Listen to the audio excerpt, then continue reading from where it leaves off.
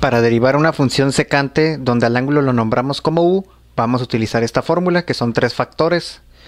Y para poderlo utilizar necesito conocer el ángulo u y su derivada, ya que aquí está secante y tangente, eso siempre va a ser así.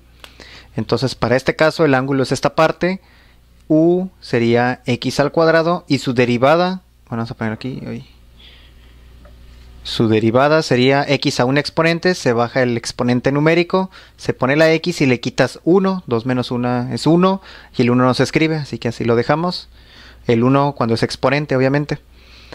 Ok, ya tenemos eso, nada más derivando, entonces nada más hay que sustituir la derivada de esta función de una función secante es poner también otra vez secante, pero el ángulo u, que es este, es x al cuadrado,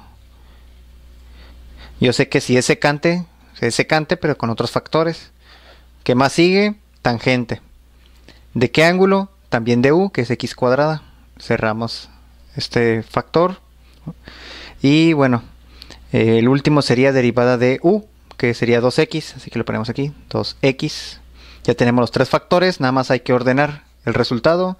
Primero se pone este tipo de factor que no es función, trigonométrica antes que estas dos. Entonces ponemos 2x y por orden primero ponemos tangente y luego secante. Ok, ese es el resultado. Para poder derivar esta función observamos que está multiplicada por un menos 3, pero como es un coeficiente, recordemos que la derivada es dejar ese coeficiente igual y multiplicado por la derivada de la función. Así que ahorita este no me va a afectar en nada. Entonces para derivar una secante tengo que saber quién es u y u es esta parte. Así que u es x a la 5 entre 4. Y su derivada, ok, antes de derivar vamos a separar la parte de la fracción de la x. Ok, entonces pasa lo mismo que aquí. Está un coeficiente multiplicando una función de x. ¿Y qué pasa en la derivada de esta función? Dejamos el coeficiente ahí y lo multiplicamos por la derivada de la función, que en este caso x al 5 x a la 5 se deriva, se baja el 5, se deja la x y se le quita 1, entonces queda así. Ok. Nada más hay que multiplicar el 5 por un cuarto. Para poder multiplicar las fracciones le ponemos un 1 para que se vean iguales. Bueno, entonces 1 por 5, 5. 4 por 1, 4. Recuerden que las fracciones se multiplican así. Ah, aquí también tiene un 1 abajo si quieren. Podemos dejar la x arriba o bueno, lo dejamos mejor aparte. Pueden multiplicar los tres. Yo nada más multipliqué dos números. Ok, esta es la derivada de u. Ok, ya tenemos u y u', por lo tanto ya puedo encontrar la derivada de esta función. Así que sustituyendo la derivada de la función va a ser igual a dejar este número menos 3 multiplicado por la derivada de todo esto. ¿Cuál es la derivada de secante? Es toda esta fórmula. Es primero poner secante de u. u vale x a la 5 entre 4. Y lo que multiplica, vamos a poner aquí un paréntesis. Aquí multiplica tangente de u, que es x a la 5, entre 4. Y falta multiplicarla por la derivada del ángulo, que es todo esto. Así que vamos a borrarlo para tener espacio.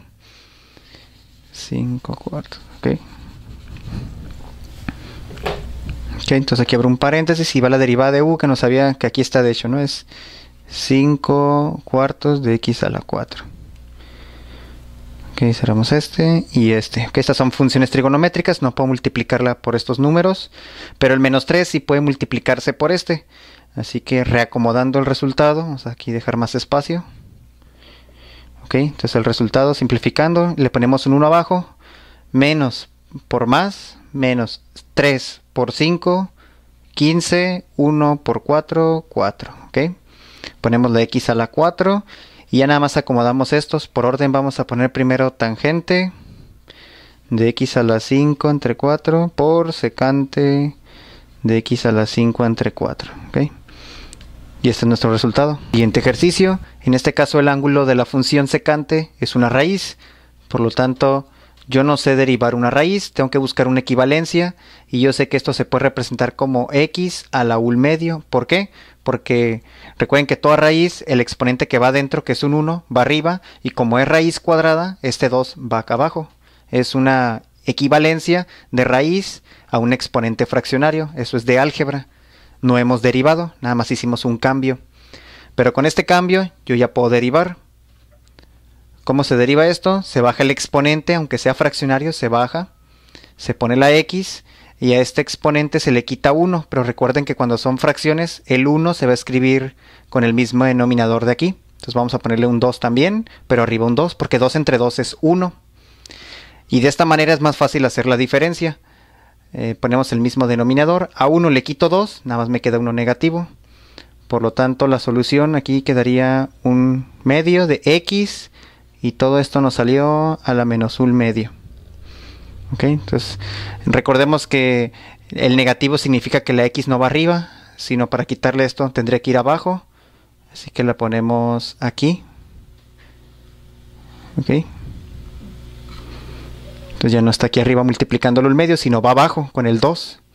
¿Y qué significa este un medio? Así como nos cambiamos de raíz a exponente, de exponente fraccionario se puede volver a raíz. Así que escribiendo todo esto, este x a la un medio lo ponemos como raíz cuadrada de x. Entonces la derivada de u es todo esto, ya simplificado. volvemos al problema, ya tenemos u, u', nada más hay que sustituirlas. La fórmula es secante de u secante, bueno, u es raíz de x, que multiplica la función tangente de u, que es raíz de x, y se multiplica por la derivada de u, que es todo esto ya simplificado. Bueno, vamos a borrar para tener espacio. ¿Qué es esto? Ok, u' nos salió 1 entre 2 raíz de x. Ok, entonces salió 1 entre 2 raíz de x. Multiplicando para poder multiplicar, esta es fracción, estos no, le pongo un 1 abajo. Multipliquen todos los de arriba entre todos los de abajo. Me va a quedar, bueno, primero pongo tangente.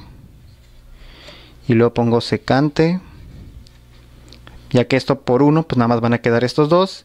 Y abajo es este por este 1, 1 por esto, me va a quedar 2 raíz cuadrada de x. Y ese es el resultado.